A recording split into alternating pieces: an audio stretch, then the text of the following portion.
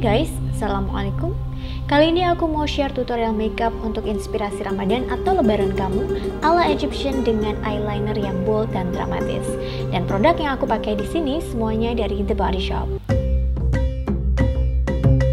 Pertama, aku ambil Fresh Nude Foundation shade Bora Bora 012.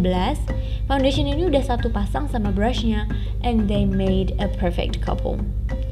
Lalu aku juga ambil shade adjusting drops, aku campurin foundation dengan shade adjusting yang darkening atau yang coklat gelap buat nyesuaiin warnanya dengan warna kulitku.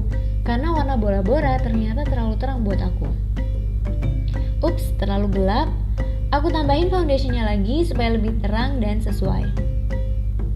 Lalu aku totolin ke seluruh wajah, baru setelah itu diratain dengan menggunakan Fresh Nude Foundation Brush.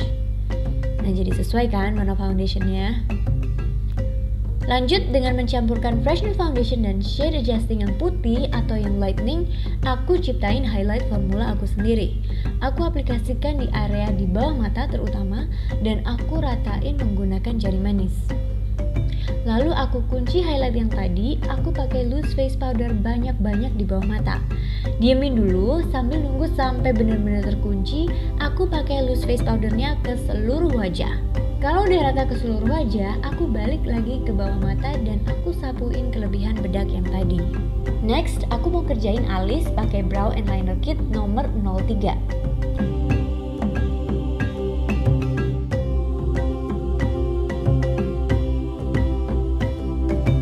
Lanjut ke eyeshadow, aku pakai eye color crush warna Great Expectation hanya untuk di bagian cekungan kelopak mata aja, lalu dibaurin.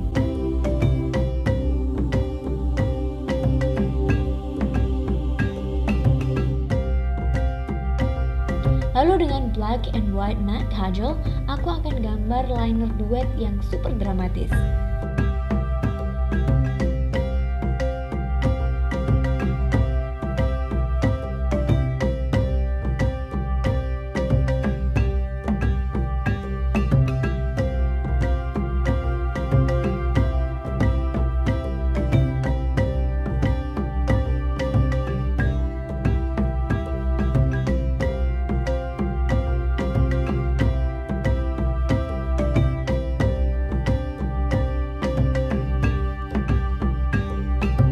Setelah selesai dengan eyeliner dramatisnya, jangan lupa pakai bulu mata untuk ngimbangin supaya tampilan overall looknya jadi cantik.